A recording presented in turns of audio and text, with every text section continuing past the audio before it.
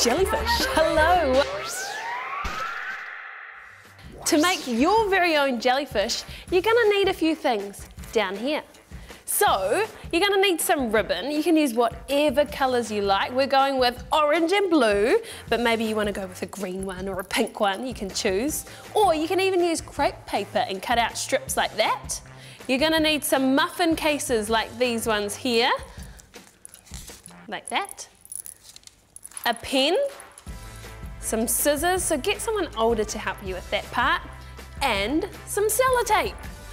All right, we're gonna get making our jellyfish. So the first thing you wanna do is make sure your ribbon is cut all the same length. Just like our one here, so you want them all the same, perfect. And then at the top, join them all together.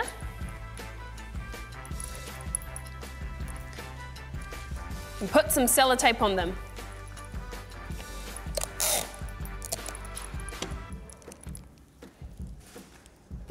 And then take a muffin case and stick it to the inside.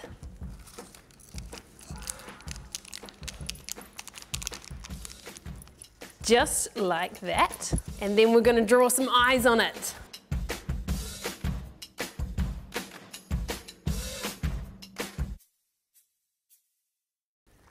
Boo! there we go. You can decorate it however you like and you can trim the ribbon if you think it's a little bit too long.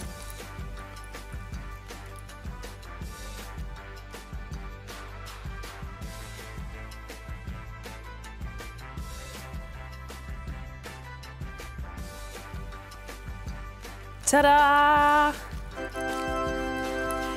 And there you have your very own jellyfish. Now we've got two. Look at that!